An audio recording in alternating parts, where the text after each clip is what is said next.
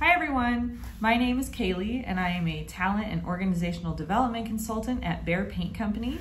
And I want to take a moment to tell you all about my very first day of work when I was 16 years old at Jamba Juice.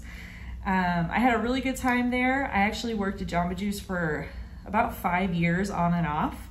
Even when I went to college, it was my summer job. So I was always welcomed back, which was really great. Uh, my very first day there, though, I actually dropped an entire box of peaches when I was walking out of our walk in freezer. I tripped and everything went to the floor. And, you know, I had to obviously own that mistake and I had to learn how to track food waste because of that. And I, you know, I just carried on with my day after that. But it was kind of funny, you know, to to try so hard to make a good impression on the manager and your coworkers, and then to drop a giant box of fruit. Uh, it was not my finest moment, but it did teach me some valuable lessons.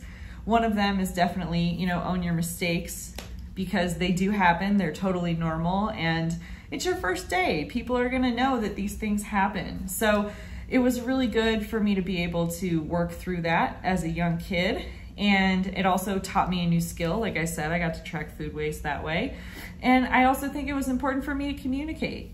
Uh, I was communicating that I was feeling a little embarrassed and that I was very sorry. And both of those things ended up coming in handy throughout my time there and throughout the rest of my career. You know, now I am working in a very different role, not in food service, but still applying those same lessons of owning mistakes and communicating. And I owe it all to that job at Jamba Juice.